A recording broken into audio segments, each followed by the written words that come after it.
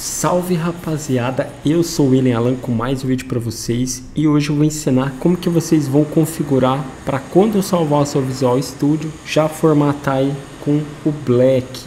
Então primeiro você vai abrir o seu Visual Studio, vai dar o Ctrl Shift P, vai digitar aqui Install e aí você dá um Enter, abre aqui nas extensões, você vai procurar por Black for de Format Aqui, ó, encontramos aqui, ó. Você vai clicar e vai instalar. Eu vou mandar recarregar aqui, porque eu desinstalei e vou instalar de novo para mostrar para vocês o processo. Então vai dar lá o Ctrl Shift P, install, seleciona esse aqui, ó, instalar extensões. Procura aqui Black Format. É esse aqui, ó, da Microsoft, Black Formatter manda instalar.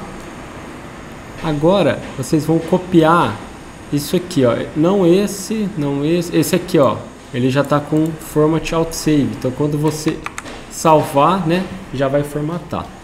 Então vai vir em arquivo, preferências, configurações, clica aqui, ó.